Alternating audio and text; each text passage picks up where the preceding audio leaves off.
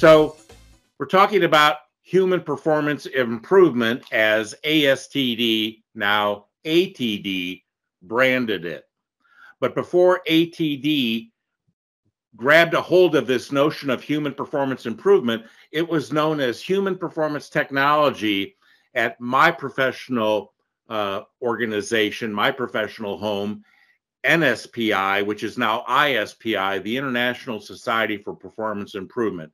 You might want to take a look at their website and their offerings and things like that, because that's really the home of human performance technology, which is the means to the ends of human performance improvement. Now, this all started by a group of people who were very involved in programmed instruction back in the early 60s. NSPI, ISPI started in 1962, and it was the home of programmed instruction, and that became pro- performance based programmed instruction, unless it was in, for the educational world. But in an enterprise or corporate training, as it used to be called, this is the focus on helping people to perform their jobs. Now, so one of the things, and you'll see in the little bubbles there, uh, it's more than learning and development or training and development or instruction. I'm an old guy. I've, I've been around in this business for almost 44 years. And so I tend to call these things instruction or training and development because that's how I grew up in the business. The word human was added to this because all performance is a human endeavor. Um, and but before it was called HPT, it was simply called PT, performance technology. And so there's a lot of competing language for the same notions, and that makes it somewhat confusing. And I apologize for that. So I look at HPT as beyond, but including instruction or training or learning. So the focus from my perspective is that L&D should always be or almost always be focused on performance. Yet we get a lot of requests for content on topics or knowledge. Skills is a really big deal now. It used to be behaviors back in the uh, 70s and 80s, and then it became competencies. That was the focus. But now we're on this skills mania track where everybody's wanting to skill or reskill or upskill people. But those are really just means to the ends of performance. And if we look at a performance context, there's a chain of cognitive and behavioral tasks that are performed by people in order to produce outputs that become inputs downstream. For me, people are on the payroll not to know stuff, but to do stuff, to perform, to produce outputs that become inputs downstream, and that the outputs and the tasks that are performed uh, meet stakeholder requirements. So, and that leads to good outcomes. And when we don't meet stakeholder requirements, that needs leads to not so good outcomes. I take a systems view. I was taught this back in 1979 that we needed to think uh, systemically about performance. And we need to look at it at the people level, and people work in processes, and processes are part of organizations. And all of that feeds a value chain for each of our enterprises. And my model for looking at all of the variables of performance are what I call the EPPI fishbone diagram. And I'll talk a little bit about this. This was adapted from the Ishikawa diagram and Tom Gilbert's uh, behavior engineering model, and I'll co- cover a little bit of that. So, it, it, my approach to this comes a little bit out of the total quality management movement world and the HPT human performance technology world. We, of course, are looking at supporting and enabling people via awareness, knowledge, and skills development. But there's many, many other variables that help people perform, help processes perform, help our organizations perform. Now I generated this next this part here by Bard, Google's Bard, artificial intelligence, uh, generative AI, and uh, so I don't take any responsibilities for errors of fact or omission. But but it did say that my philosophies were these five bullet points here, and I only take exception to the third bullet there. And L&D should be learner slash performer centered or centric. It is not about learners for the sake of learning. It's about learners learning for the sake of performance, the ability to perform tasks, to produce outputs to stakeholder requirements. And so this is my little model. This is what I call performance competence. Could have been called performance capabilities or many other labels, but I borrowed the term competence because one of my mentors back from 1979, the late Tom Gilbert, wrote a book in 1978 about human competence. And he bemoaned the cult of behaviors where we were all focused on behaviors, but we didn't understand the terminal outputs that people were trying to produce with those behaviors. So I'm, and we do the same thing with skills and competencies and all that. They're always out of context or or not in context often enough for my satisfaction. But so stakeholders are a key part of this. And my little model on the right there is just an example, but there's society at large. You know, we do things in either society at large agrees with it. The, the government has laws, regulation, codes that we must comply with. Our owners and shareholders want things. The board of directors there to represent the interests of the shareholders. There's executives, management, customers, employees, suppliers, and the community at large. And these are all the stakeholders, and they might have similar requirements or competing requirements. And I put this into a hierarchy for an article in a quality journal back in 95 because my clients at the time were struggling with the fact that they had competing requirements from different stakeholders and they didn't know which ones to listen to and which ones to forego. And so I constructed this article to help them figure out in a case by case situation here. And here's just an example. You know, who wins if the if the conf if there's conflict in the requirements? Well, there's a hierarchy here, and I don't care what your customer wants. If the government will throw you in jail and fine you millions and millions and millions uh, of dollars or whatever uh, currency, um, they're going to win. So the customer is not king, is not always right, and that was the uh, subtitle to the article that I had written. So Performance competence, the ability to perform tasks to produce outputs to stakeholder requirements, happens at the individual level. This is why I like my definition because it works at the individual level, but it also works at the process level. The process performs tasks to produce outputs to stakeholder requirements. The organizations do the same thing. And our entire value chain as an enterprise where we fit into a larger value chain. And if you're producing pharmaceuticals, they go into a distribution network that you probably don't own. I'm not sure if you do or not. But but so you're you're part of something that's much bigger, and we need to begin to understand that. That's the intent of human performance technology or performance technology is understanding all of that. The roots of HPT go way back. Now, this was my, one of my key mentors, the late Gary Rummler. He was a business partner uh, for a decade with Tom Gilbert. And Tom Gilbert was known as the father of human performance technology.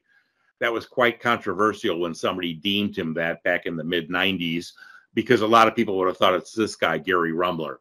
But what Gary said is that all the roots of human performance technology or performance technology were formed back in the 60s and there's really not been a lot new since 1970s and you talk about skills and we talk about all sorts of things engagement being learner centric all of that was known and talked about back in the 60s yet a lot of these things weren't published because we didn't have the ability to distribute that kind of information then. And you'd have to go to individual workshops and such walk away with your three inch binder and you would have this kind of content.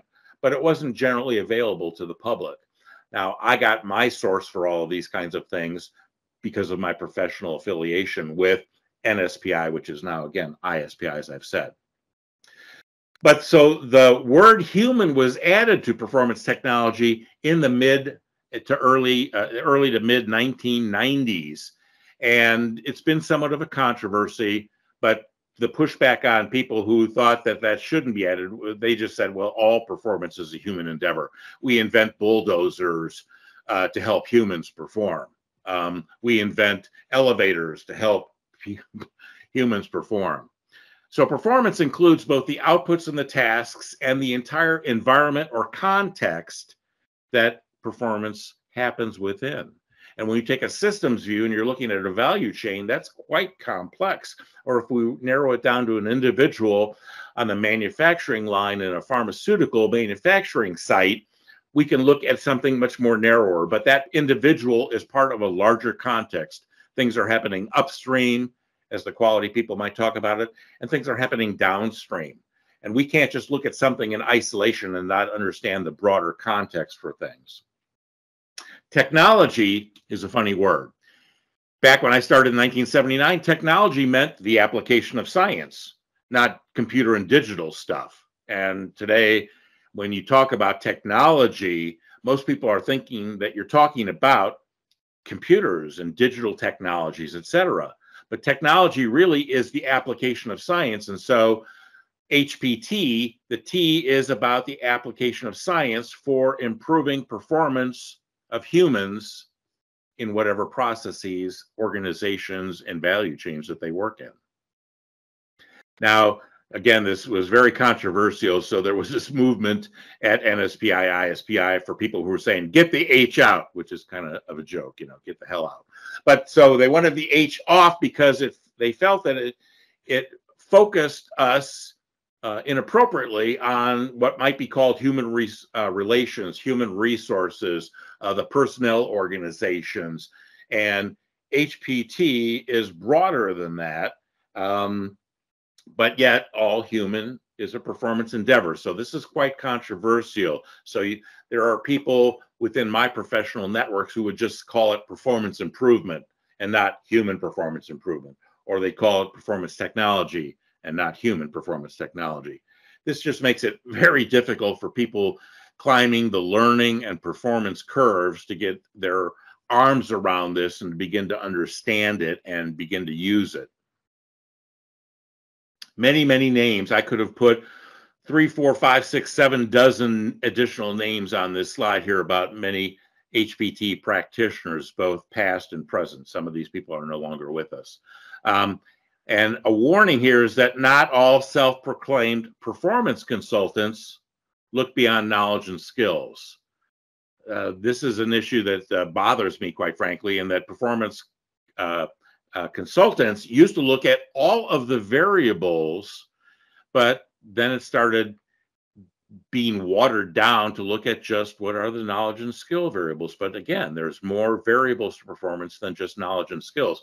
And Joe Harless in the mid 80s said, and, and he's one of the gurus, he was a student of Tom Gilbert's. He gets confused when people that are call themselves performance technologists, see that was the term back in the mid 80s, uh, but they always produce training or information or education type products for every project that they're involved in.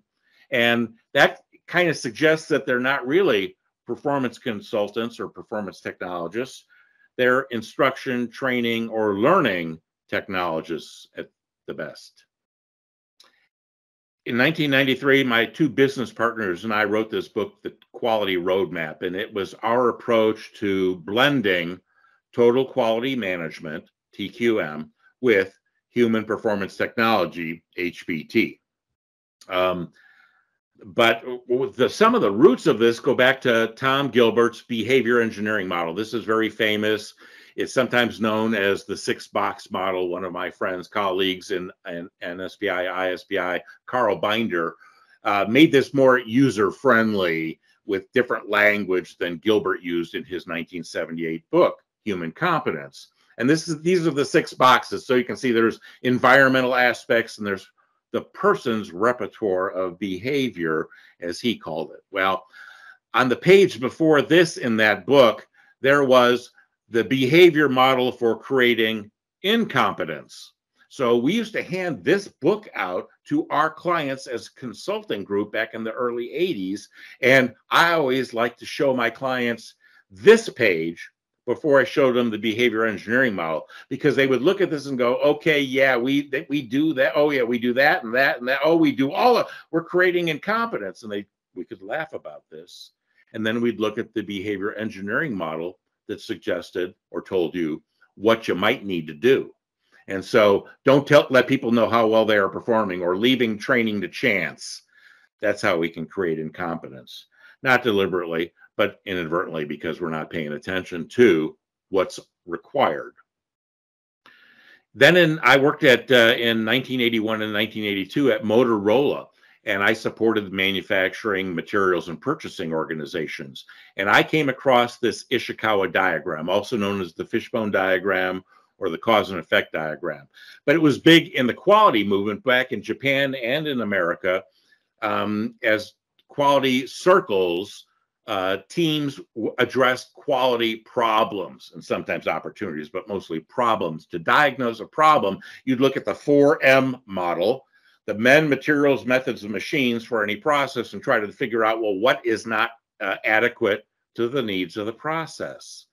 Well, this was uh, this was an epiphany for me to look at the how the total quality management uh, movement looked at performance, and I had been looking at it through an HPT lens. And so this was very helpful. So uh, back in the 80s, I merged and morphed and all of these things into my model, which is just uh, suggests here are the variables as Guy Wallace looks at them. There's many competing models for this. So if you really get into this, you might need to really look at uh, more than just what I'm sharing with you here today. But to me, processes are all about the inputs and the outputs and the tasks within in the process box, but there are all these human enablers and environmental enablers. And uh, I'm not going to go through this in great detail. Uh, you can look at this later on, but uh, but so this is how I help my clients understand when I'm looking at training or instruction or learning what is really needed in the process. So I believe that uh, there's a lot of pushback uh, in the field about, you know, don't be an order taker. Well, that's nonsense. We are a service organization. We should take an order and agree to conduct a project, not necessarily guarantee and agree to produce L&D because we might find out that L&D is not going to solve anything and it would be a waste of shareholder equity with negative or nil return. And we should be looking at helping our clients uh, improve performance for a significant return on their investment. So I believe in take the order, plan and conduct the effort, uh, take the client and the stakeholders along on the journey as partners because it's, they live with the consequences as to whether or not we do good L&D or not. Not us, they do. They're the stakeholders. And we need to take back to them at the L&D pivot point at the end of analysis phase valid and credible data to help them make a better business decision as to whether or not to continue with learning or to pivot to some other non-instructional interventions or to do both. So my six phase model there is an adaptation of ADDIE, if you're familiar with that, analysis, design, development, implementation, and evaluation. But this is the model, the framework that I've used for project planning and management since I became a consultant in 1982. So in the first phase, we're doing an intake process. We get a request. We need to clarify the request, make sure we understand, you know, why is the client coming to us, the requester coming to us. We need to do an adequate level of project planning so that we can say, well, this is what it's going to cost. These are the resources we need in order to do this this is the schedule. These are the key milestone dates, whatever language you use in your uh, company is the language you should be using. Convert all this uh, L&D jargon to uh, the jargon of your uh, enterprise. And then I do a kickoff with the project steering team because they live with the consequences. I want to say, here's what I understand about your request. Here's the plan to go forward. These are the resources I'm going to need, people, I may need to uh, observe things, but are you know if you want to do this, this is the plan, and this is the burden and expectations on the client side, the customer side. We on the supply side could do this project for you, but we're going to have to collaborate and cooperate in order to get it done well. And then when we go into doing analysis, we need to understand our target audience.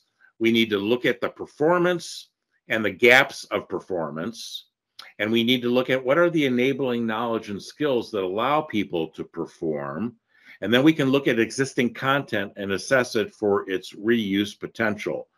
This was a big deal for me because I had supported Motorola in manufacturing and they were reusing uh, sub assemblies and uh, components and piece parts on various products to reduce their inventories. And so this was important to me that I figure out how to approach learning and development or training and development, sharing content appropriately, either as is or after modification. So I might have different versions of active listening for the different target audiences so that it would be authentic to their performance requirements. But there might have been a core of active listening that was shareable across all my target audiences.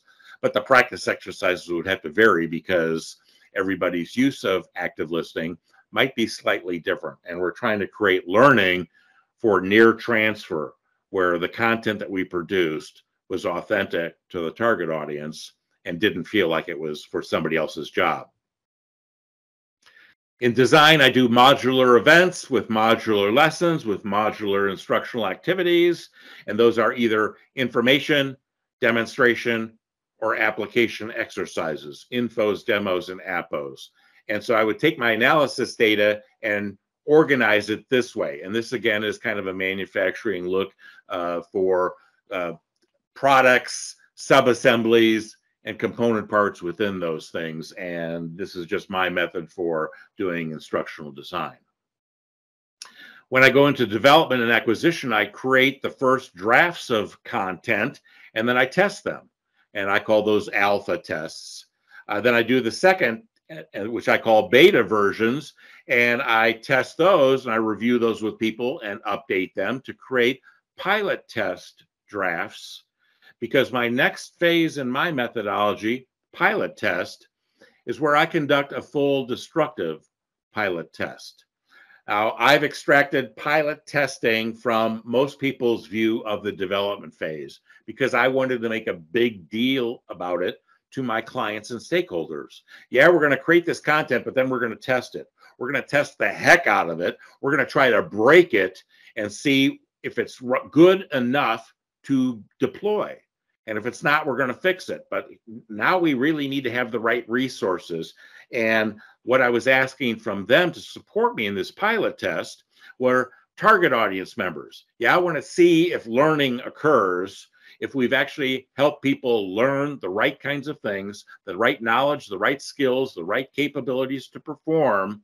And I can only do that if you give me the typical target audience members, and we'll put them through the, basically the first uh, session uh, for this learning, however it's being deployed, self-paced, coached, or group-paced.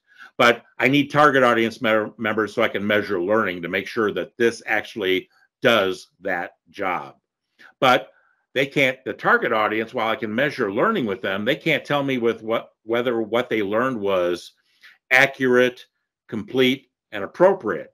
So I'm going to need in my full destructive pilot test master performers and other subject matter experts. I need to have them take a look at this. I always have them participate as participants, learners, students, if you will, in the learning so that they go through it so they can't just sit back and go, okay, I, I think it's okay or I don't like. No, I put them into the seat and they do everything that the learners will do. They get that full experience and then they can help me determine whether or not what we put in place is accurate, complete, and appropriate. And I can't measure learning with this group because theoretically they already know, but they can. But so I need these two kinds of audiences when I'm doing my full destructive pilot test. Then I review the results with the project steering team. That's what these little upside down traffic lights are in this model. It's the gate review meeting a term borrowed from the quality movement, to meet with the client and the stakeholders to say, here's what we've got so far, here's where we're going next. Well, what we would tell the project steering team in this is, here's the results, the feedback from the pilot session. Here's our revision recommendations. And if you approve them, they'll become our revision specifications. And we'll go into the next phase and revise the content if necessary, we'll repilot. That's a client decision, I think.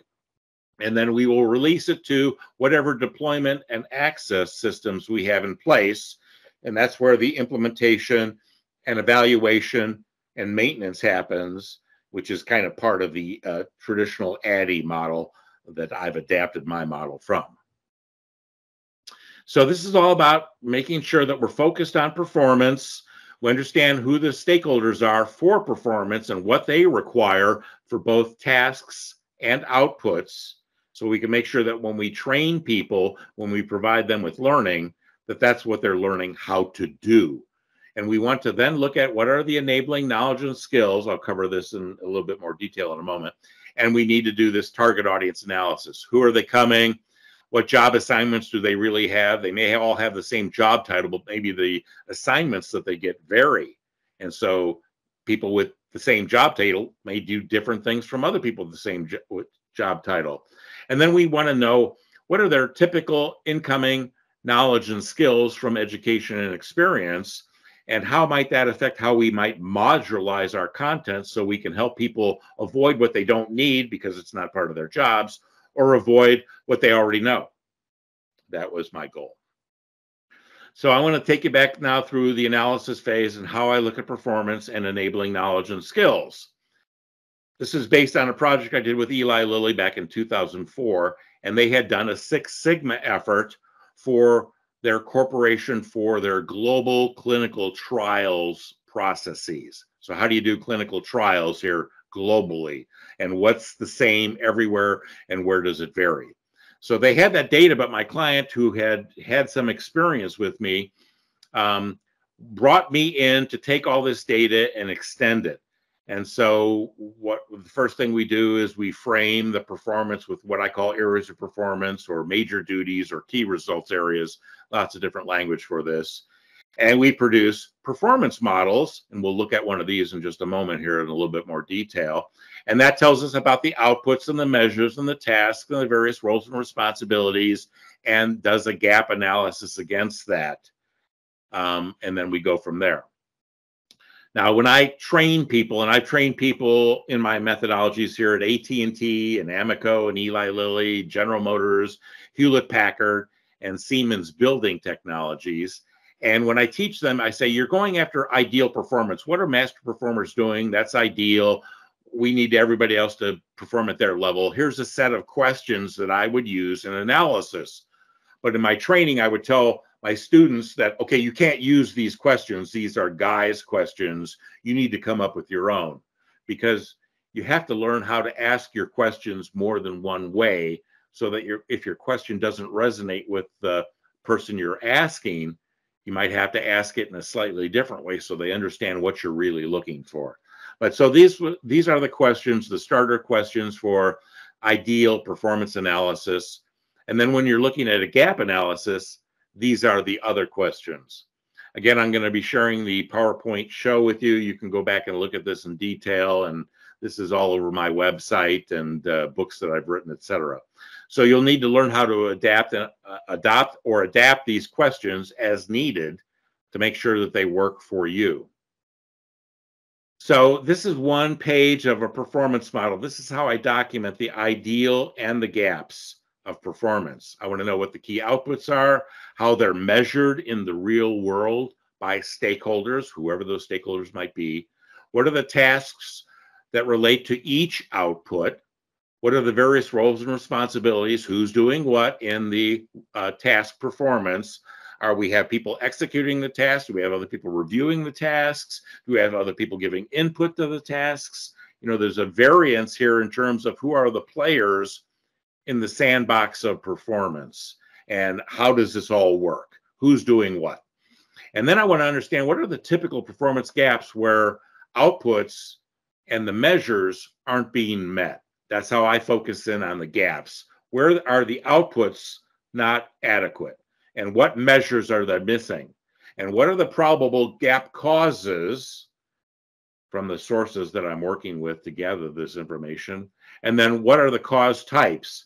And this one says there's deficiency of um, environmental supports, there's deficiency of knowledge and skills, and there's deficiency of the individual's attributes and values. And something I've added after I did this project was deficiency of the process itself. The process may be faulty, and that's what needs to be fixed. Perhaps it's not a knowledge and skill issue at all. All right, so then uh, in the Eli Lilly project, I have 17 different categories of enabling knowledge and skills, but you don't always use all of them. And you can see there are uh, bolder ones and faded out uh, ones here, and we'll cover this in, in greater detail here in just a second. But so I don't use all of them, but I have on occasion. I've done uh, hundreds of these kinds of projects here, and there have been a few projects where I've used every last knowledge and skill category, trying to elicit what are all the enabling knowledge and skills that enable people to be able to perform and meet the standards. And this kind of data goes on what I call a knowledge and skill matrix, and it basically just organizes all of this data and tells you why you need to know active listening and where the heck do you use it what area of performance, what outputs and tasks do you use active listening on? Because later on, when we're doing training, we're going to want to train people on active listening in that kind of authentic performance and not just some generic educational approach to it. So these are my enabling knowledge and skill categories. A lot of these are just knowledge that people need to have.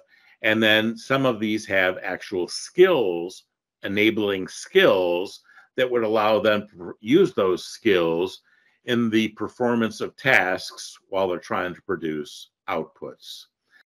My thing is that you derive these based on your documented uh, performance analysis data.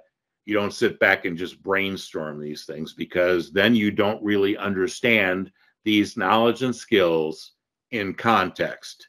And if you're not really going to produce learning and development content that addresses these things in context, you are expecting the learners to take your generic learning and development and then go into trial and error or social learning after your formal learning.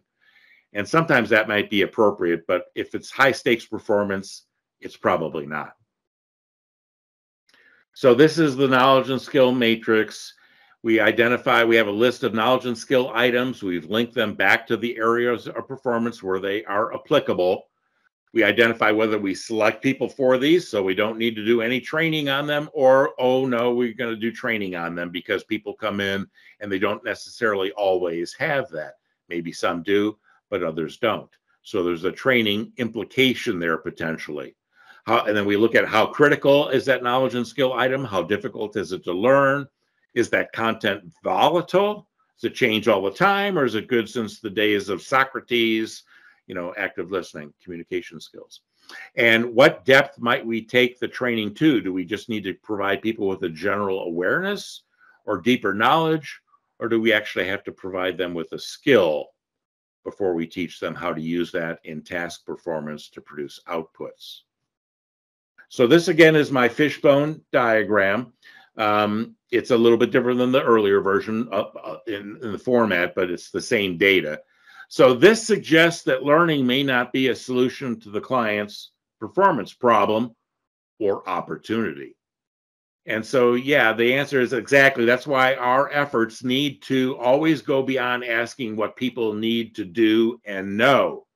We need to understand what are some of the potential barriers that master performers have likely figured out and they know how to navigate and do their performance despite barriers, despite imperfections in their performance context. And it would be most helpful if we could teach novice performers that to speed them down the learning curve or up the learning curve. Again, this is all about getting analysis data so that we can reach what I call the L&D pivot point. Analysis data that informs the client and stakeholders' business decision making to continue with L&D, or if our data suggests that knowledge and skill deficits aren't at the root of the problem. And if we were trying to solve a problem with learning and development, perhaps we should forego that, not do that, and pivot to something else something that the data suggests that maybe we just need to fix the process or the software tools or give people uh, information and data that's current rather than whatever the issue might have been? Or do they need to do both? Now, I've had clients over the years have stopped projects cold right at this point because they realized that the problems that they were trying to address weren't going to be solved adequately by training And so they needed to pivot and go do something else. And the data that I had produced for them pointed them in the directions for further analysis and development of solutions that would actually solve their problems. But I've had clients who surprised me at times when they said, Oh, even though the data shows that training won't solve anything, we like what you've produced and we need this for the new hires that are coming in. And so we're going to do both. We're going to solve these problems. We're going to create some training, some learning. We may have to update that training and learning after we solve these other problems, but it's all good stuff. It's all about performance. In my view, there's four instructional options for us. And it depends on what are the risks and the rewards at stake. There's high uh, stakes performance and there's low stakes performance and medium in between. But when the stakes are low, we might just leave it to informal learning means, trial and error learning, social learning, whatever labels you use for that. But we don't need to create formal content to address that. We'll let people figure it out on their own somehow, some way, because the return on those investments may not make it worthwhile. But so we also need to understand that performance context that I've been talking about. What does the performance context demand or allow? And if it allows a referenced performance response where I can look something up and then perform, perhaps I can just provide standalone job aids or guidance or performance support. Again, many names for the same kind of thing. When I came into the field in 79, they were called job aids, but before that, they were called guidance. Soon, Gloria Gery came out with electronic performance support systems. And so there's a lot of competing names for that notion of reference materials. Um, and if the stakes are very, very high, maybe I want to teach people how to use those job aids in training or learning. Um, and again, but but the performance context allows people to refer to something. But there's times when the performance context demands a memorized performance response because there's no time or it's inappropriate for people to refer to things. If you're on a sales call, you need to know certain things here. You shouldn't be having to look everything up. That that just doesn't breed confidence with your potential buyers. So we need to do training or learning for memorization or honing critical skills. That's where a learning experience should happen. But otherwise, we could be doing performance support and minimize the requirements for people to memorize everything because that's an impossible request for everybody to memorize everything that they need to know on the job. We can provide them with reference materials, and that would be better. So we're always looking for when the request comes in, if it's for new hires, well, yeah, sure, we should be expecting a request for new hires, of course. But if the request is to solve a performance problem, we shouldn't expect that. We should suspect it. But nonetheless, we should take the order and conduct a project with analysis that's adequate that'll help us understand what are the outputs, what are the stakeholder requirements, what are the tasks, what are the stakeholder requirements for that, and what are all the enablers that are necessary especially the enabling knowledge and skills. So this is how this all ties together. We look at the outputs, we look at the stakeholder requirements. Our focus is on the knowledge and skill enablers, but we have to be cognizant of all the other enablers that are in that performance context because likely they'll be part of our learning and development efforts. It's all about performance competence. This is, it's not all about learning. It's all about performance, even in a learning organization. Now, there's some articles that my uh, business partners and I published back in 1984. This was part of the NSPI Journal, now ISPI. And there was a training magazine article we produced also in 1984 on how to conduct these kinds of design efforts using a group process with a team of master performers and other subject matter experts. This is the book that we did in 94. This is a book I just did a couple years ago in the middle of the pandemic when it was starting, conducting performance based instructional analysis in every phase of an instructional development effort. Uh, my experience shows me that people will get caught up in analysis paralysis because they're trying to boil the ocean for a cup of tea as the quality movement put it back in the 1970s. And they're trying to conduct all of their analysis in one place at one time rather than spreading it out across their uh, methodology, their their framework that they use, their ADDIE-like framework. Um, so my book addresses, you know, my approach to doing that as a consultant and how I've trained others to do that over the years, my own staff and my clients. This is EPPI Thinking. This is about my fishbone model and some of the other models that uh, go in concert with this. And uh, more recent book, my latest book, is The Cult of Performance in Enterprise L&D. And I, this was a takeoff on Tom Gilbert's Cult of Behaviors. And we needed to not just focus on the enablers such as behaviors or skills or competencies. We needed to really understand them within the context of the outputs, the worthy outputs or accomplishments, as he called them, and go from there but we've got to keep our eye on the ends and then understand the means. We shouldn't be just focused on the means because then they're out of context.